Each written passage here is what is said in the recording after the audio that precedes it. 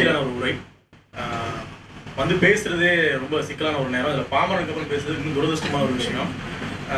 Almost இந்த நாவலை பற்றி நிறைய பேசிட்டாரு. ஆனாலும் இந்த நாவல் படிச்ச இந்த ஒரு ஒன்றரை மாசத்துல இந்த நாவல் குறித்து நிறைய பேர்கிட்ட வந்து தொடர்ச்சியாக பேசிட்டே இருக்கேன். ஏன் இந்த நாவலுக்கு முக்கியமான ஒரு நாவல் அப்படின்னு. ஸோ அதனோட தொடர்ச்சியாக தான் இங்கே வந்து என்னை வந்து பேச வந்து தள்ளி விட்டுருக்காங்கன்னு நான் நினைக்கிறேன். இந்த புத்தக கண்காட்சிக்கு வந்து ஒரு புத்தகம் ரொம்ப முக்கியமான ஒரு புத்தகம். ஸ்டாலின் கொடுத்த கார்பச்சவின் பொய்கள் அப்படின்னு ஒரு புத்தகம் ரொம்ப முக்கியமான ஒரு புத்தகம். எனக்கு இப்போ கடந்த ஒரு முப்பது முப்பத்தஞ்சு வருஷமா இலங்கையிலிருந்து எழுதப்பட்ட தமிழ் நான் குறிப்பா சொல்றேன் இலங்கையிலிருந்து எழுதப்பட்ட தமிழ் நூல்கள் எல்லாமே புலிகள் குறித்து சொல்லப்பட்ட பொய்கள் தான் தொண்ணூறு சதவீதம். ஆஹ் புலிகள் இயக்கம் இப்படி இருந்துச்சு புலிகள் இயக்கம் அப்படி இருந்துச்சு சின்ன குழந்தைங்கள்லாம் கையிலலாம் வந்து ஆஹ் துப்பாக்கியை கொடுத்தாங்க. தலைவர் மணிரத்னம் படம் எடுத்திருப்பாரு அது வந்து ஒரு சின்ன குழந்தைங்க ஒரு மூணு பேர் துப்பாக்கியோட வந்து அந்த குழந்தைங்க வந்து துரத்தும் அதெல்லாம் சென்சார் போர்டு வந்து இதெல்லாம் ரொம்ப முக்கியமான காட்சிகள் எதுக்கு நீங்க வந்து எடுக்கிறீங்க அப்படின்லாம் வந்து டிஸ்கஸ் ஆகும் ஸோ இப்படி ஆஹ், புலிகள் குறித்தான பொய்கள் வந்து அங்க இருந்து வெளியில வந்தவங்க இங்க இருக்கிற ஆஹ், இந்து ராமாரி நாட்கள் இது தொடர்ச்சியா காலங்காலமா கட்டமைக்கப்பட்ட ஒரு பெரிய விஷயம். பார்த்தீங்க மாதிரியான ஒரு நாவல் எழுதுறதுக்கு இத்தனை வருஷம் தேவைப்பட்டிருக்கு அப்படின்றது ரொம்ப துயரமான ஒரு விஷயம். ஏன்னா சம்பவம் நடந்து கிட்டத்தட்ட ஒரு முப்பது முப்பத்தஞ்சு வருஷம் ஆனதுக்கு அப்புறம் அதை பத்தி நிஜமான ஒரு பதிவு நமக்கு வந்திருக்கு அப்படின்னு. அப்புறம் ஆஹ், இந்த யுத்தம் அப்படின்றது ஜியாகிரபிக்கலா கொஞ்சம் ஜியாகிரபிக்கலா இந்த ஆஹ், இலங்கை பிரச்சனை வந்து அல்லது ஈழ பிரச்சனை வந்து நம்ம பார்க்கணும் அப்படின்னா எங்க இருந்து இதை துவங்கலாம் அப்படின்னா நெப்போலியன் மாவீர நெப்போலியன் வந்து ஒரு தடவை சொல்றாரு திருகோணமலை துறைமுகம் மட்டும் என் கையில இருந்துச்சுன்னா இந்த மொத்த உலகத்தையும் என் காலடிக்கு கீழே கொண்டு வர முடியும் என்னால அப்படின்னு. அவ்வளவு தூரத்துக்கு ஜியாகிரபிக்கலா திருவண்ணாமலை துறைமுகம் வந்து ரொம்ப முக்கியமான இடம் புலிகள் வந்து கடைசி வரைக்கும் திருவண்ணாமலை வந்து தங்களோட கட்டுப்பாடு கீழே வச்சதுக்கு முக்கியமான காரணமும் இன்னைக்கு இந்த புத்தகம் வெளிவந்திருக்க இந்த காலகட்டத்துல அமெரிக்காவோட துருப்புகள் வந்து திருவண்ணாமலையில் இறங்கியிருக்கு.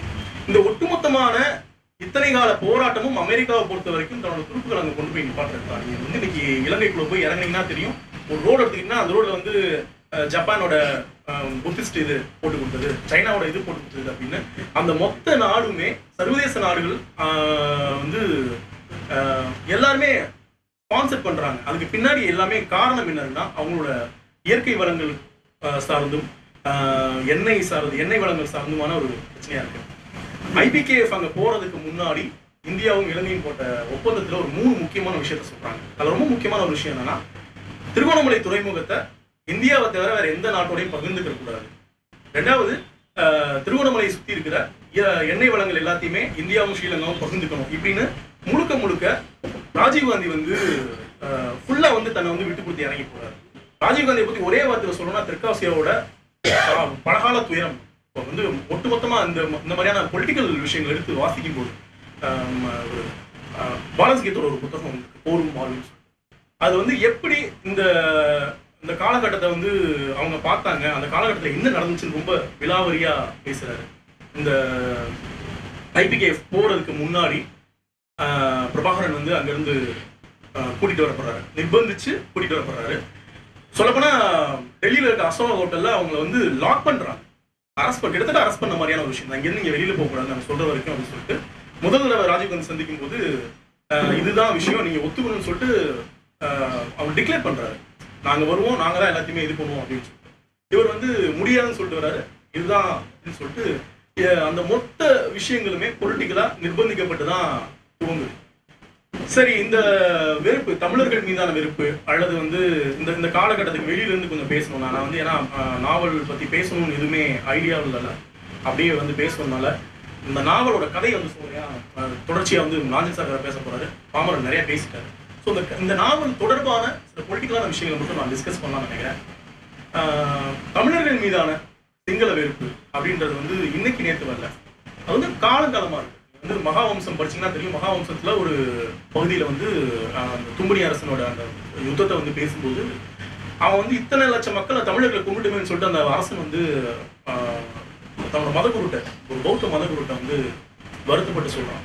அதுக்கு அந்த மதகுரு சொல்றாரு ஆஹ், நீ இதுக்காக நான் வருத்தப்படாத. பௌத்தம் வந்து எந்த உயிருமே கொல்லக்கூடாதுன்னு சொல்ற ஒரு மதம். ஆனா அந்த என்ன சொல்றான் ஆஹ், தமிழர்கள் வந்து ஒரு நாய் ஆஹ், பூனை மாதிரி அது அந்த அளவுக்கு கூட மதிக்கப்பட கூடாத ஒரு உயிர் தான் அவங்களை கொள்றதுக்காக நீ வருத்தப்பட வேணாம். சொர்க்கத்துக்கு போற உன்னோட பயணம் அதெல்லாம் எந்த விதத்தையும் தடைப்படாது அப்படின்னு சொல்றாங்க. ஸோ தமிழர்கள் மீதான சிங்கள வெறுப்பு அப்படின்றது பல நூறு வருடங்களா வந்து இருக்கு. இதுக்கு வந்து இன்னும் வேறு மாதிரியா பார்க்க போனா ஒரு ஏழாயிரம் எட்டாயிரம் ஆண்டுகளுக்கு முன்னால தென் இந்தியாவோட ஒரு பகுதியாக தான் இலங்கை இருந்து அது வந்து இன்னைக்கு இருக்கிற ஆராய்ச்சியாளர்கள் எல்லாமே வந்து டிஎன்ஏ முதற்கொண்டு தமிழர்களுக்கும் சிங்களர்களுக்கும் ஒரே விதமான டிஎன்ஏ தான் இருக்குன்னு சொல்றாங்க. ஸோ அப்படியான ஒரு தொடர்பு இருக்கிற ஆஹ், இந்த இதுக்கு எங்க வெறுப்பு வருதுன்னா பல காலமா பல ஆஹ், நூற்றாண்டுகளா இந்தியா பேரரசுகள் அங்க போயிட்டு நிகழ்த்தின யுத்தம் தான் ஆஹ், இந்தியா மீதான இருக்கிற வெறுப்பு தான் அது வந்து கொஞ்சம் கொஞ்சமா தமிழர்கள் பக்கமா திரும்புது. ஆஹ், நான் நாவலுக்குள்ள இன்னும் நான் நாவலை பத்தி எதுவுமே பேசல. நான் முன்னாடியே சொல்லிட்டேன் நாவல் பத்தி நான் பேசுறதுக்கான தேவை இல்லை அப்படின்னு. ஆஹ், இந்த வெறுப்பு அப்படின்றது இதோட முடிஞ்சிருச்சா? அந்த யுத்தத்தோட முடிஞ்சிருச்சா அப்படின்னா இன்னும் இல்லை. ஒரு காலமும் முடியவே போறதில்லை. ஏன்னா இதை முழுக்க முழுக்க கட்டமைக்கிறது அப்படின்றது ஆயுத வியாபாரத்துக்காகவும் இயற்கை வளங்களுக்காகவும் நிகழ்த்தப்பட்ட சர்வதேச நாடுகளோட ஒரு இதுதான். இந்த யுத்தம் அதாவது ஐபிகேஎஃப் வந்து முதல்ல போறாங்க. அங்க வந்து தமிழர்களுக்கு சப்போர்ட் பண்ற மாதிரி இந்த நாவல் வந்து ஒரு இடத்துல சொல்லியிருப்பாங்க.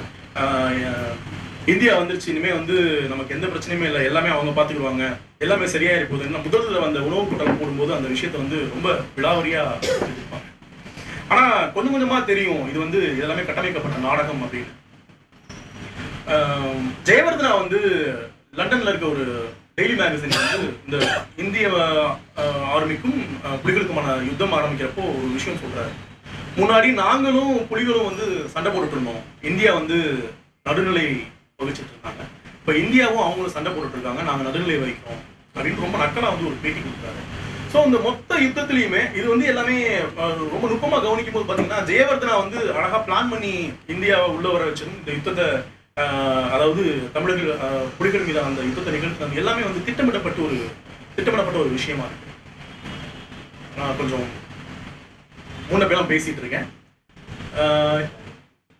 அந்த காலகட்டத்தை வந்து நான் ஃபிக்ஷனா கூட இது வரைக்கும் யாருமே எழுதல. ஐபிகேஎஃப் இந்தியாக்குள்ளே போ இலங்கைக்குள்ளே போன அந்த காலகட்டத்தை நான் ஃபிக்ஷனாக கூட யாரும் அப்படியான ஒரு சூழல்ல இன்றைக்கி வந்து இது வந்து இந்த நாவல் வந்துருக்குன்றது ரொம்ப முக்கியமான ஒரு விஷயம். ரொம்ப சுருக்கமாக முடிச்சுக்கிறேன் எனக்கு. ஏன்னா ப்ரிப்பேர் ஆகி வரனால ஒரு சிக்கல் நாஞ்சல் சார் பேசுவார். தேங்க்யூ